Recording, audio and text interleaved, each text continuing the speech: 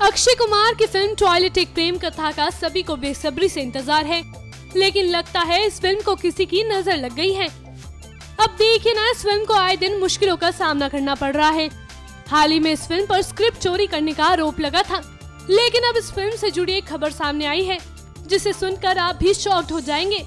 दरअसल media reports के मुताबिक कोरियोग्राफर डायरेक्टर रेमो डिसूजा के पास एक पेन ड्राइव है, जिसमें टॉयलेट एक प्रेम कथा फ़िल्म की पूरी कॉपी है।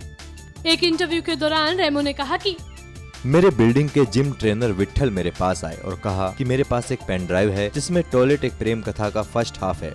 मुझे लगा कि वो मज़ाक कर रहा है लेकिन उसने मुझे इस बात पर विश्वास करने के लिए मजबूर कर दिया। तब मैंने उसे कहा कि जल्दी मुझे वो पेन ड्राइव ला कर दो। इसके बाद रेमो ने आगे बात करते हुए कहा जब मैंने वो पेन ड्राइव खोला तो मेरे होश उड़ गए। उसमें सच में फ़िल्म थी। मुझे लगा कि अगर ये पेन ड्राइव और लोगों तक पहुँच जाए तो फ़िल्म के मेकर्स के लिए मुसीबत हो जाएगी। मैं भी एक फ़िल्म मेकर हूँ और मुझे पता है कि रिलीज़ होने से पहले अगर फ़िल्म लीक हो जाए तो उसका क्या नतीजा होता है। आपको बता दें, इस बात की जानकारी रेमो ने फ़िल्म के प्रोड्यूसर और डायरेक्टर को दे दी थी, जिसके बाद ही दोनों ने क्राइम ब्रांच में शिकायत दर्ज कराई है।